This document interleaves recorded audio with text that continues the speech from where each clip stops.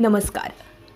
जगप्रसिद्ध असलेल्या निघूच्या रांजण खळग्यांची सफर उत्सुक असतात. नमस्कार विजया लेट स्टार्ट या आपल्या युट्यूब चॅनलवर तुमचं सगळ्यांचं स्वागत आहे. आज आपण आलेलो आहोत अहमदनगर जिल्ह्यातील प्रसिद्ध असे निघूची रांजण खळगी पाहायला. खरं तर रांजण खळगी तुम्हाला सगळ्यांना परिचित असतील अनेक नगरकरांना आणि ज्यांना परिचित नसतील त्यांच्यासाठी आजचा हा खास ब्लॉग आहे.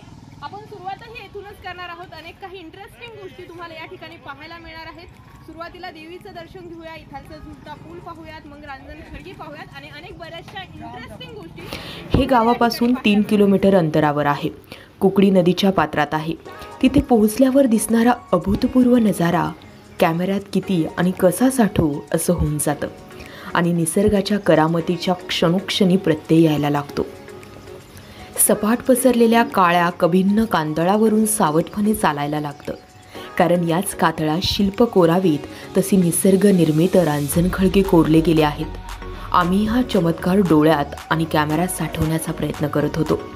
नदीच्या पात्रात दोनशे मीटर लांब आणि साठ मीटर रुंद अशा भागात अनेक रांजण खळग्यांची चित्तवेधक शिल्पे तयार केली आहेत.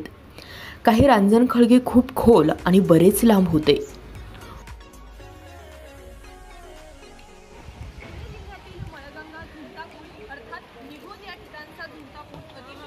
आहे.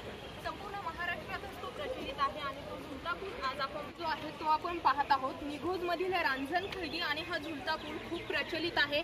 अनेक पर्यटकांकडे पर्यटकांचे आकर्षण या झुलत्या पुलाकडे असते आणि खरंच खूप अशी वेगवेगळी खासियत या ठिकाणी आहे. ज्यामुळे हा पूल सगळ्यांच्याच आकर्षणाचा केंद्र बनतोय. आता तुम्ही पाहू शकता हा पूल हलतोय.